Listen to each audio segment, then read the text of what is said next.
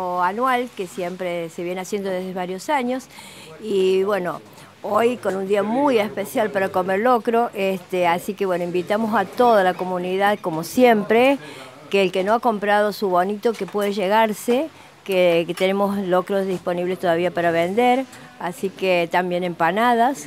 Eh, así que bueno, este, con un grupo muy lindo para trabajar, o sea que hace ya tres días que estamos trabajando, y, o sea que un grupo como vos ves, que muy muy bueno, estamos, sí, Muchas personas, ¿no? Muchísimas, acá nos movemos más de 40 personas. Para hacer mil porciones, muchas. Sí, sí, y aparte hicimos la carbonada de empanada, las empanadas también. 100 docenas, ¿no? Sí, 140.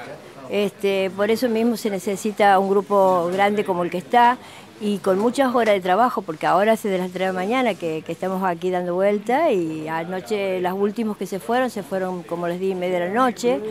Entonces, ¿Y hoy a qué hora entraron? Hoy a las 3. Tuvimos un pequeño recreo de las 10 de la noche hasta... Fueron un ratito el rancho, después vinimos. Claro, un ratito y después volvimos aquí. Este, así que bueno, todo muy bien y también te agradecemos a vos por la difusión esta. que Mostrame un poco el locro, ¿quieres Estela? Así es, mira, lo estoy mostrando.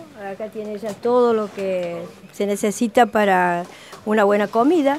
Eh, estamos a una horita y ya y ya está listo para servir a las once y media, como estaba programado, si Dios quiere así será. Ya sale a la, venta las personas que quieran venir a buscarlo, a las once y media ya se puede, ya se va a estar este, la comida lista.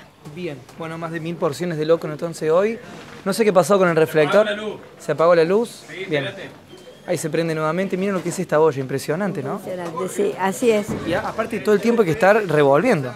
Totalmente, siempre, no, no, esto no se puede descuidar ni un solo segundo, porque locro quemado, locro perdido, entonces así estamos desde, desde varias horas. Por eso, las empanadas ya están listas ya, ¿no? Sí, sí, ya se están cocinando, ya también están... La gente puede venir desde las once y media directamente. Directamente y ya van a estar las empanadas y el locro ya para distribuir. ¿eh?